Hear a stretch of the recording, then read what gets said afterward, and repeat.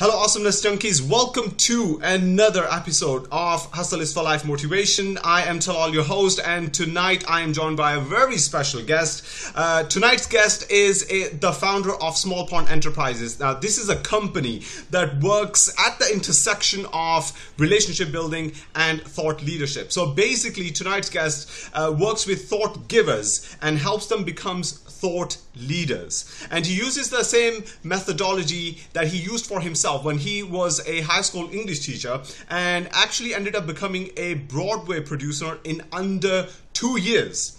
He's also the founder of ConnectorCon uh, and the co host of the podcast, which is called Access to Anyone. And that's a podcast that actually explores how you can get to know anyone you want to be in business with and in life using everything from the latest technology to the most time tested principles. Tonight's guest also has been featured in Dorie Clark's book called Stand Out Networking, which is how I actually found out about him and just reached out because in the book, when Dorie spoke about him, she talked about how he started ConnectorCon and used it as a strategy to network with really high level people. And I just thought it's a fantastic story here that I need to catch up on. So I decided to reach out, and Michael very kindly accepted. He decided that he's going to be here. He's going to come on and add a ton of value to us. He's an awesome person, very open, very giving. We had a little chat before we actually started recording this, and I cannot wait to get deep into this conversation. So, without without much further ado, please help me welcome Mr. Michael Roderick on the show. Michael, thank you so much, brother, for taking the time to be here with us. I really appreciate it. Yeah, thanks so much for having me. I know you're a very busy guy. You've got a 16 month old baby. Uh, you run a podcast. you are, you know, connecting with people. You do coaching um, and a whole bunch of other stuff. So, you know, I genuinely, I'm really appreciative of the fact that you take time to be here with me uh, and to add value to the hustle community. Happy to do it and uh, happy to chat with you guys awesome michael. So michael let's let's just start from the beginning of your story because it's absolutely fascinating. You know a high school english teacher and then you end up becoming a broadway producer. You're now actually you know coaching people and at the same time you're running a podcast. How how did that happen? How how do you go from being a high school English teacher to becoming the founder of ConnectorCon and Small Pond Enterprises and the the podcast hosting and everything else? Yeah, so it's kind of a it's it's kind of a crazy story. I mean, I uh, the joke that I always make is that I've lived about 17 18 different lives. I've uh, I've I've been in a lot of different industries. Wow. Uh, and I've met a lot of people from just lots of different worlds. Um, so what I'll do is I'll kind of just take you guys back and I'll and I'll I'll walk you through some of the things that that happened. Uh, so basically I I was a high school English teacher. I was running the drama program at my school. Uh, right. So I'd always been involved in theater. I'd always been very interested in theater. And I was getting my master's in educational theater at the time. So I was right. learning about how you use educational theater principles and basically use theater to help kids learn uh, material. Uh, so I was really involved in that world. I was having conversations with people on the on the theater side um, but one of the things that I noticed was that a lot of the uh, students at these theater schools really never had anybody to like help them on the producing side. There was always there was always sort of the you know the people who wanted to be the actors or the writers or the directors. So I started doing that for a lot of those for a lot of those people. I started kind of just helping produce these small projects and during that time, um, we had to raise money. And uh, when you have to raise money, there's uh, you know there it's a lot of work. And, and one of the things that I realized was that most people were doing bar parties, and they were basically like going and like setting up at a bar and saying like, "Hey, come and give us like."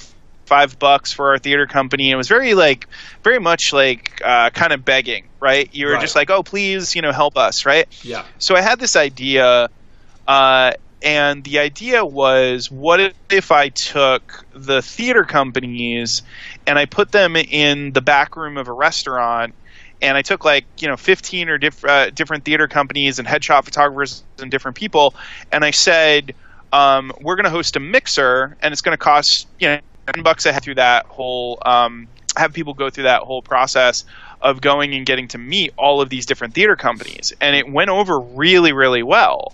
Uh, and all these companies started to get to know me. I started to get to know a lot of people in that world.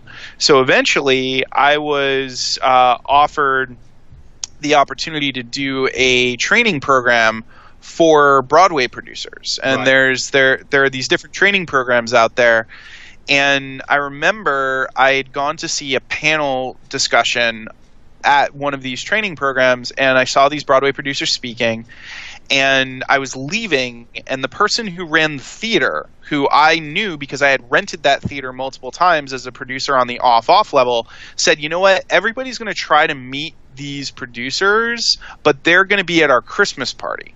Right. And two weeks later, I get an invite to the Christmas party, and it's a much less crowded scenario. And I see this woman who I'd seen on the panel, and first time I had ever made an uh, like interruption in my life. Like first time I'd ever gone up to somebody who was already talking and like you know interrupted the conversation. And I just came up to her and I just said, you know, I'm sorry to interrupt, but I just love what you're doing. I am very interested in producing. I'd love to learn more about it. And she turned to me and she said, you know, what do you do now? And I told her that I was a teacher, and she was fascinated with that. She was like, oh my God, you're a teacher? That's amazing. And we were talking about that.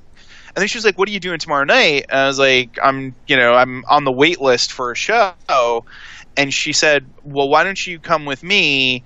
Uh, I'm going to go to a meeting of the Broadway League." And it was basically all Broadway producers, and it was this little cocktail gathering, and I got to meet a bunch of other Broadway producers who helped me uh, basically find out about the inner circles of these training programs. So Mm. there are uh, there are certain programs in the Broadway space that you can apply for, and you can learn the logistics of producing on Broadway. So you can l- learn about that process. Right. So I did one of those programs. I got an internship with a Broadway producer. While I was doing that internship with that Broadway producer, I met a bunch of other producers and I started to learn that the main thing that people needed to do in Broadway was raise money. Now, for profit, everybody in that world wanted credit uh, Right. for raising that money. They wanted to have their name above the title. So what I did was I just went to other producers and I said, actually, I'm not interested in credit. I want to get better at raising money. So I don't really care if my name's on anything. I just want the deal flow.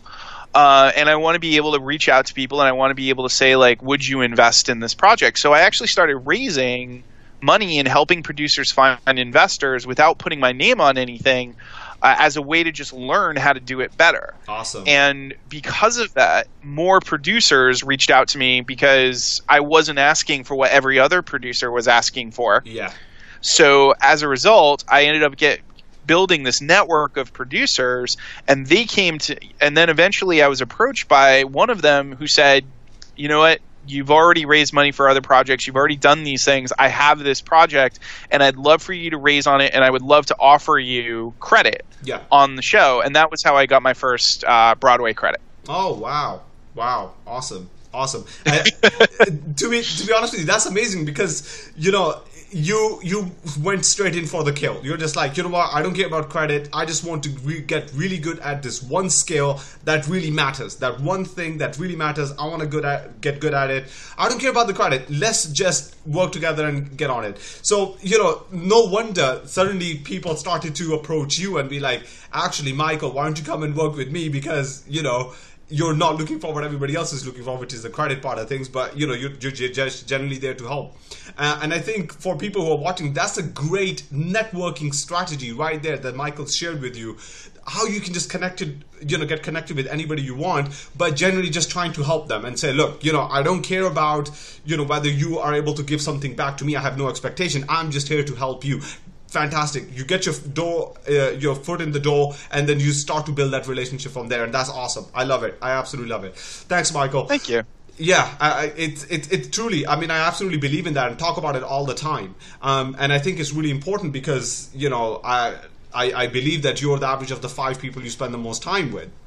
So to upgrade to upgrade your network is really important that you kind of reach out from your normal kind of uh, you know network, your inner circle, and then start to connect with new people and learn from them, and you know start actually join them in their ventures and what they're up to and, and learn about what other things are truly possible for you. So that's a great strategy actually michael. Uh, and thank you for sharing that. Thanks.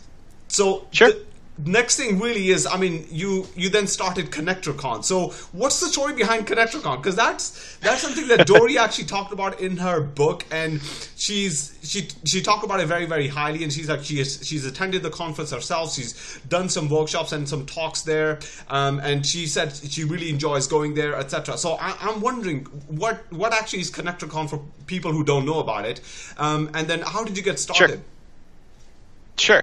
Uh, so ConnectorCon is a conference for connectors, and it's structured around the idea of teaching what is best practice in building relationships, getting to know people, building partnerships, and, and really thinking about things from a connecting standpoint as opposed to a networking standpoint. So a connector is always thinking about who is above me and how can I help them, and they're always thinking who's below me and how can I help them they're never thinking, "Oh, I'm just going to try to, you know, do things at the exact same level with all the exact same with all the exact same people." They're always reaching. You know, they're always trying to find ways to like thread people together.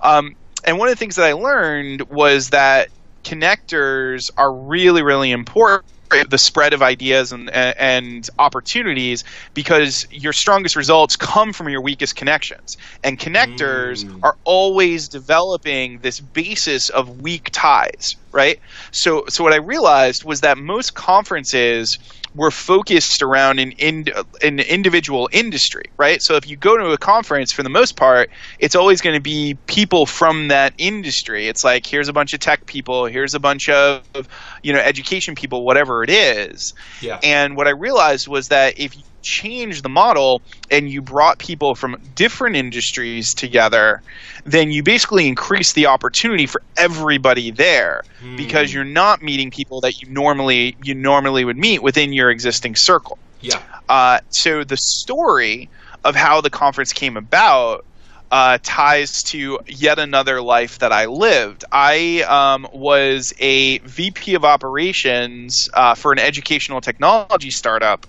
Ooh, uh, awesome. and I. Uh, yeah, and I worked uh, in that role for a short period of time, and then I switched into business development.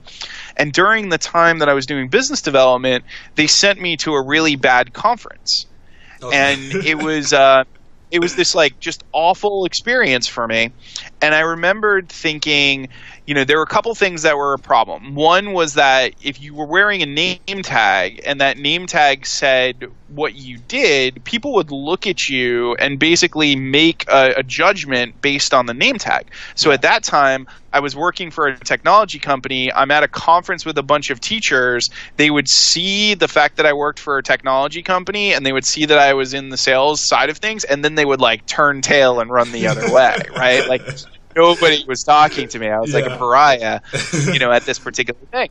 And then I also noticed that whenever people would speak at the, you know, at the events, uh, whether it be that they were hosting a workshop or whether it be that they were doing a talk, these people would like not stick around like right they'd be like out the door right after or there'd be you know like a crowd of people and they'd talk to like maybe three of them and then like peace out so when i got back after that experience i was just like you know what i think the conference model's broken mm. and i think that there is there is a space for conferences to think more in the context of creating safe space because we struggle because the way that the event is structured does not create a safe space. Yeah. It basically challenges you to be like figure out it on your own and figure out like who you want to talk to of things. So I came up with this idea and I was like, if I just started a conference for connectors, you know, how many people would be interested? So I reached out to some of my friends and I said, Hey, I'm I'm thinking about doing this and I'm just curious like what kind of interest you have. And a bunch of my friends came back and they were like, I'll speak on a you know, I'll I'll speak on a panel or I'm happy to, you know, facilitate a workshop or whatever it was. Yeah. So I uh, I remember that basically there was one day where I, I was done with the sales for the day um, and it was just like kind of dead in the office because there uh, it was sort of towards uh, towards the end of the the calendar year, so there really wasn't much for us to do. Right. So what I did during that time was I just reached out to a bunch of people uh, about you know being part of the conference, and I programmed the whole conference in a couple of hours. Wow! Uh, so I put yeah, so I programmed the conference sold the conference and executed the conf- conference, the very first ConnectorCon, uh, in about 35 days. Oh wow, that is amazing.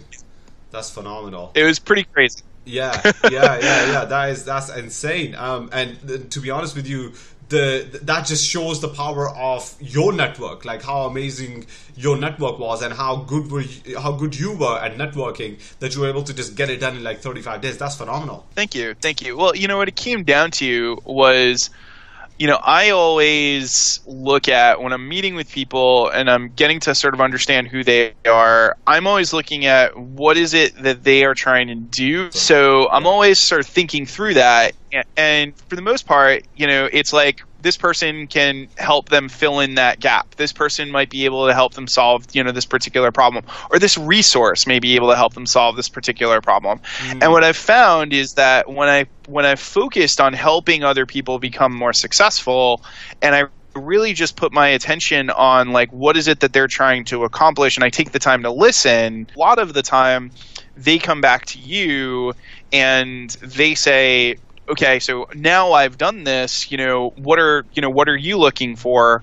Uh, and you know, in this particular scenario, I had a lot of people who I had helped in different in different capacities, so they were just kind of looking for something to be able to do. Yeah. Um, because one of the things I talk about that a lot of people forget about with this whole sort of aspect of giving is that there are certain people who they have what I call a very strong reciprocity impulse. And if somebody has a very strong reciprocity impulse, they want to give back to you when you give to them. It's just like part of their nature. They mm. and and they get upset if they can't. Yeah. Right? Yeah. So if you have people that you're always giving to or that you're always helping and you never ask them for anything, you never let them know what it is that you need, some of those people start to get frustrated with you mm. because they're like, why, like, what is the, you know, what is the deal? Like, like, like you don't need anything? Like, what's yeah. going on? Yeah, yeah. Um, so it was these things where, you know, when I went to them and I said, like, I'm doing this, doing this thing, there are a lot of people who are just like,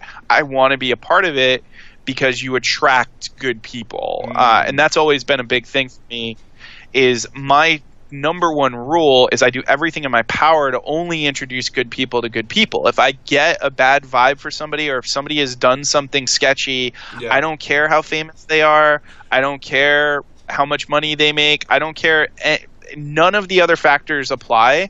If they are not a good human being to mm. another human being in my world, I don't care how connected they are, how powerful they are, they're not part of my circle. Wow, that is powerful. And, and, to be honest with you, that takes a lot of courage as well, right? That takes a lot of courage to actually just mm-hmm. turn around and say, nope, nope, that's not going to happen.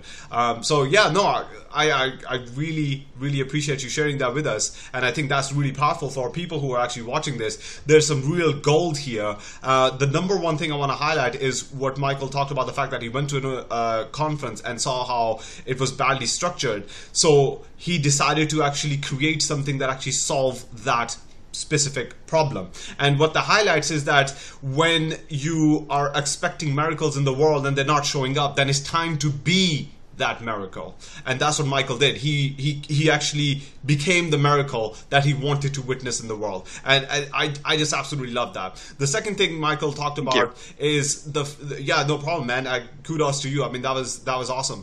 Uh, I loved it. Really powerful message. And then again, Michael talked about you know um, how he always is trying to help people. How he's always trying to see how can I connect this person and help them with whatever it is they they they're working on. And that's again a really really powerful uh, you know thing to have. A really powerful uh, kind of like a almost like a force that that's driving Michael, I believe, and and then it's bringing amazing people into his life because he's out there just generally trying to help people, and it's being that being genuine and being authentic that that's brought so much success to Michael. Uh, I'm sure you'll agree, Michael, that th- these these are the things that really people need to be you know living and practicing in their daily lives in order to actually get to the the high the higher end of success Yeah, I mean, I think it's really important. You know, I, I, I basically look at it as everybody uh, falls on a spectrum Mm. between asking anxiety and asking blinders, right? Okay. So right. Everybody you know lands somewhere on that spectrum. And if Mm. you're if you're concerned about asking other people and you're worried about reaching out you're usually on the asking anxiety side.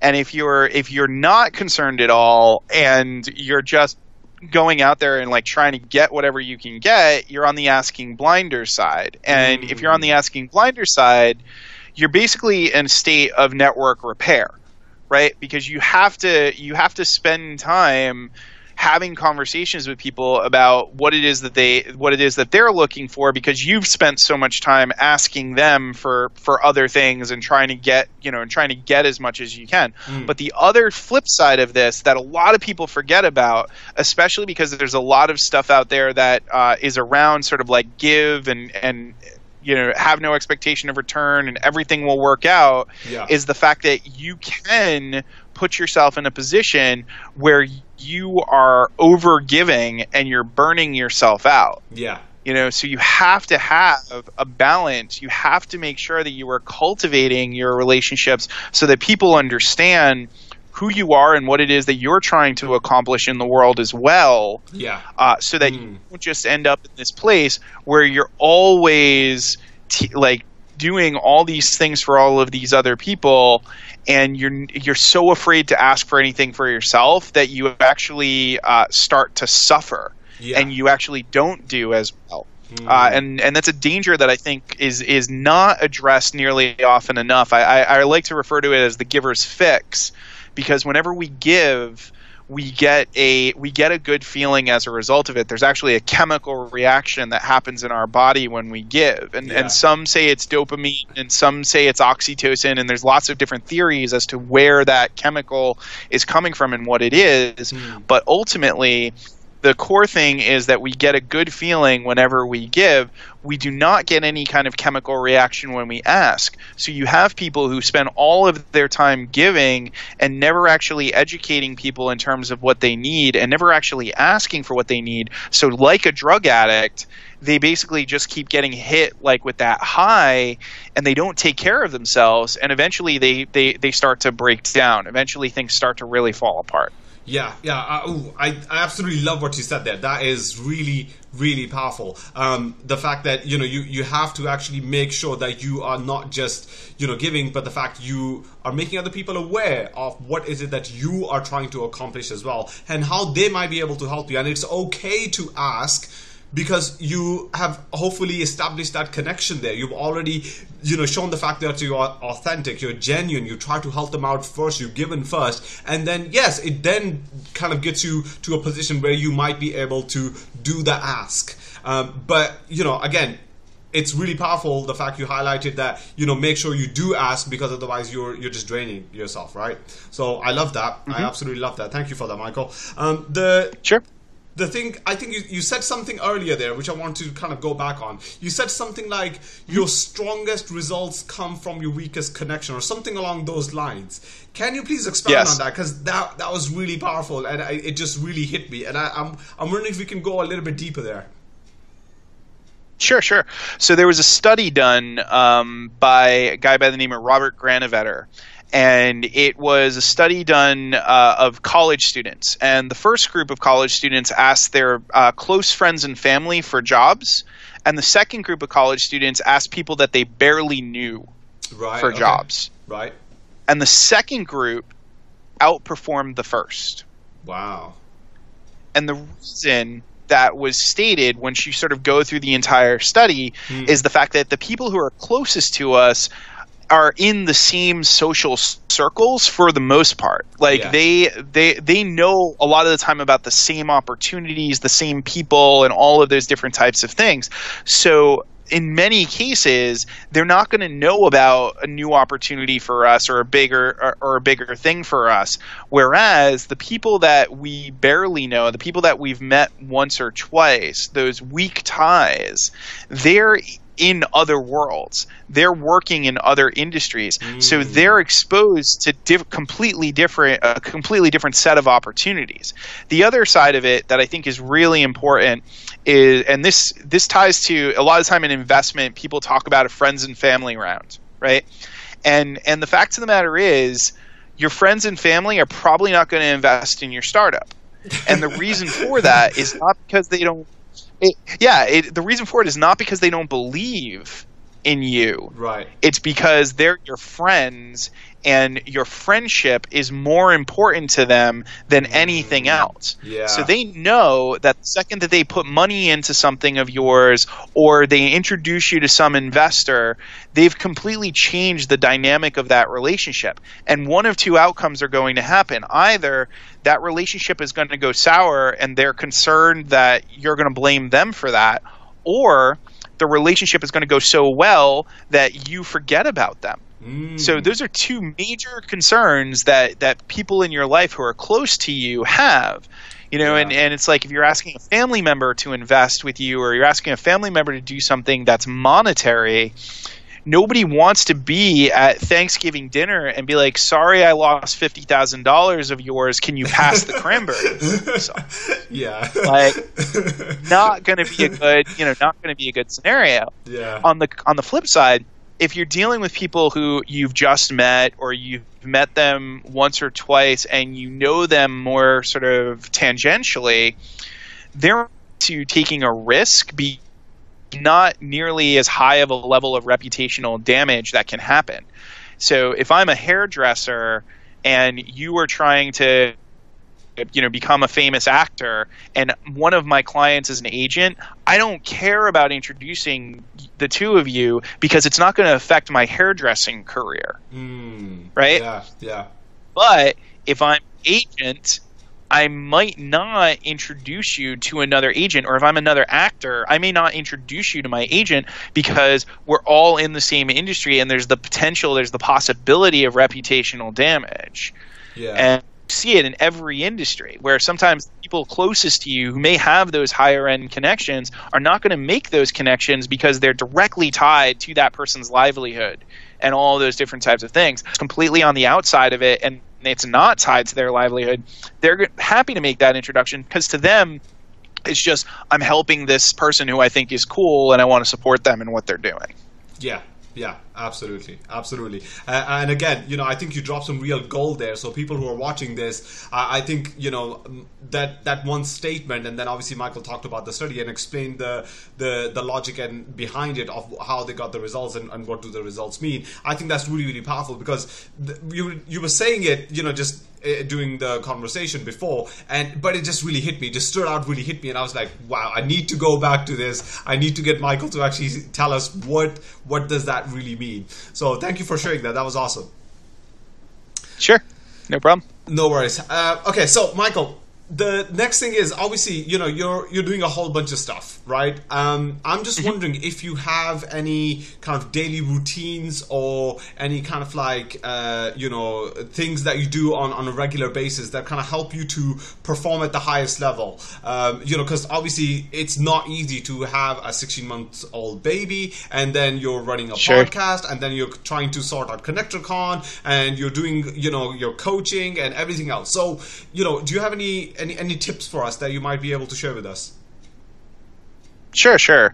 I mean, I think that one of the biggest mistakes that you can make as an entrepreneur that process can become so important to you that you don't take the time to be like what do i need and make sure that you're getting it yeah. Uh, so personally uh, I I make sure that I always have uh, time to meditate uh, awesome. because it gives me it gives me a, a chance to basically just kind of reset and and let my brain just kind of not be in this you know mode of like what's coming next. Yeah. Uh, so that's a really important thing. Uh, the other thing for me is I write uh, I write a daily email. So I um, so I write uh, an email every day, Monday through Friday. I take the weekends off uh, and you know spend it with family and everything. But um, that aspect of writing every day is very very powerful because it gets me to consistently peel back the layers of any concept that I'm developing. Like anything that I'm working on,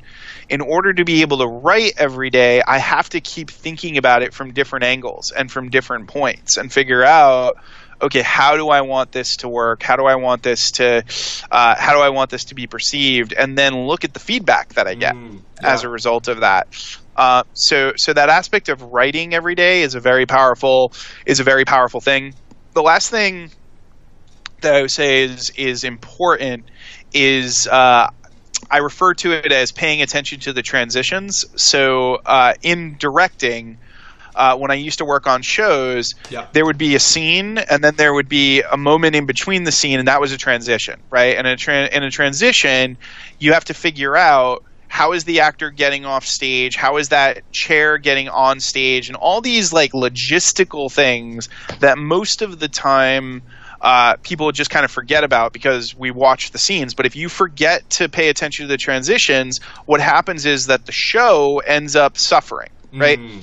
So I am very, very big on making sure that in the whole relationship building process, there are, I'm paying attention to the transitions. So if I'm going to schedule a meeting with somebody, and I know that I'm going to have follow ups for that meeting. Yeah. I'm not going to schedule my meetings back to back. Mm. I'm going to schedule the meeting. I'm going to schedule a chunk of time directly after the meeting to handle my follow ups and to deal with my follow ups Yeah. so that I'm making sure that I do do the things that I say I'm going to do. And one of the things that I do is I keep a, a physical notepad whenever I and I write notes on, on people and I put that information into a spreadsheet and I put that information, you know, when I'm sending an email and all those different types of things so that I can physically rip the piece of paper out Mm, and know that it's done. yeah. Yeah. And and for me that's very very useful because then I know that something has been finished as opposed to just kind of like sitting on a drive somewhere because one of the things that you can do that's an absolute relationship killer is to say that you're going to do something and then not actually do it Mm, Right? Yeah. Yeah. like and and there are tons of people who are like well-meaning connectors who are like I will do this intro for you, I will do this thing for you and they take weeks, months some and and in some cases never do it and Yeah. that really has to do with not paying attention to those transitions like you have to figure out where are those blocks of time for you to do the that little that stuff that you know is is a follow up that does take time but will instantly get pushed off if you're being offered the opportunity to do a podcast to you know go to a meeting to have a one-on-one call like everybody loves the sexy part Yeah. of relationship building Mm, but you know nobody really uh, you know enjoys the the logistical part of it like Yeah. the scheduling the making sure that you do the things that you say you're going to do Yeah. that takes actual work so Yeah. making sure that that's built into your day i think is a very very important piece that a lot of people Yeah, yeah, and, and I think that's that's a really really uh, comprehensive answer that you gave about so many different things and so many different aspects uh, and how you actually manage them and i absolutely love that. That was fantastic. Uh, and you're absolutely right. Follow through is everything right? Like once you actually commit to something you have to follow through and and that that's everything. Uh, so that's beautiful. I absolutely love that. Um, Michael, I'm wondering, what are your main goals for 2018 and uh, where do you need help right now? How can we help you right now? Sure. Um, so one of the things that I am uh, really focused on and thinking more about in 2018 is doing more speaking. Okay. Uh, so I'm starting to look at you know which, which types of places it would be good good to present some of these some of these new ideas and some of these new concepts.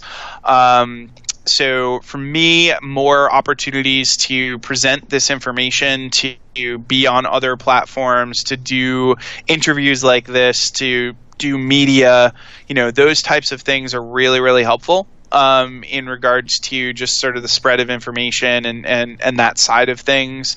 Uh, in addition to that, I really thinking through what I want ConnectorCon uh, 2018 to be. It's going to happen in December, and I'm and I'm right now in the process of really doing more research on the experience design part of it, awesome. and figuring out how I want to look at some of the things that, that I've uh, seen in a lot of live events and conference models that I haven't been necessarily happy with, and and try to continue to innovate in regards to creating.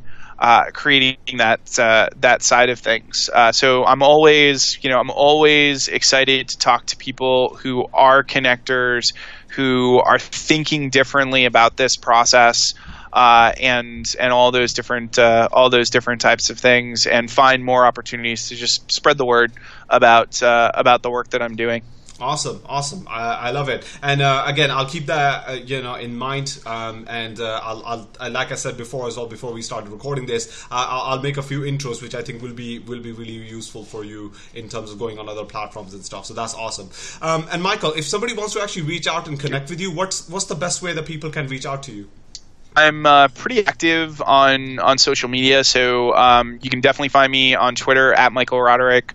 Um, I'm on LinkedIn. Uh, that's how we connected. So yeah. you know, I'm, I'm, I'm responsive on LinkedIn. Uh, you know, there's uh, I know that there are some folks who are, who are not, but I'm very responsive on LinkedIn. Awesome. Uh, and then I have. Um, my website is just smallpondenterprises.com, and if you go on there uh, and you get on the daily list, like you reach out to me, I'm I'm usually pretty good at uh, getting back to people uh, and uh, and having conversations. So.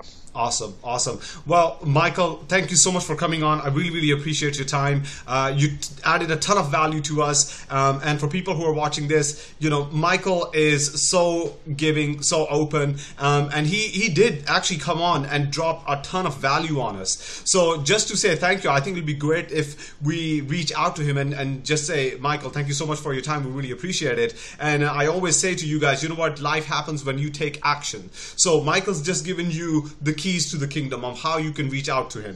So go ahead and you know just reach out and start a conversation. You don't know where it's going to lead, right? Um, and Michael's actually talked a lot about in this conversation. Michael's talked a lot about exact strategies that you can use to network and build relationships, which is something that I absolutely love. So this could be kind of like your blueprint to actually reach out to Michael. Essentially, you know, it's uh, it's kind of ironic, but you can actually use his exact strategies to reach out to him, um, and you don't know where it's going to go. Um, so absolutely, I would highly encourage you to go ahead and you know make that uh, connection, just reach out and start a conversation with Michael. And Michael, once again, thank you so much for being here. I really appreciate it. Uh, I know your time's really precious, so it means a lot to me that you made time for us to be here with us today.